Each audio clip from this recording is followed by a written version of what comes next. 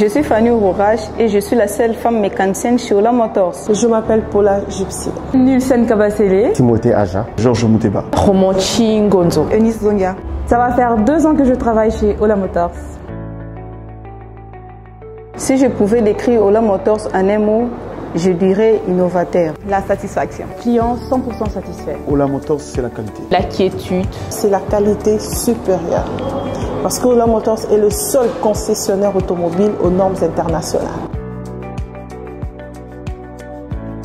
Je suis mécanicien chez Ola Motors.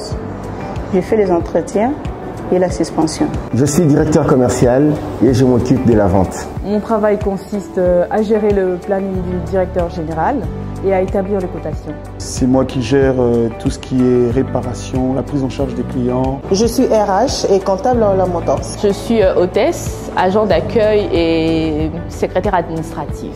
Je suis stagiaire en commercial et mon travail consiste à vendre des véhicules. Ce que j'aime chez Ola Motors, c'est que la direction générale a mis en place une procédure qui permet à tout agent et cadre de la société de faire son travail avec quiétude et sérénité. Ola Motors est un concessionnaire automobile qui veut travailler de manière professionnelle avec des agents qualifiés pour un seul objectif, la satisfaction de notre clientèle à 100%. Je suis, je suis, je suis, je suis, je suis, je suis Ola Motors. Nous sommes Ola Motors.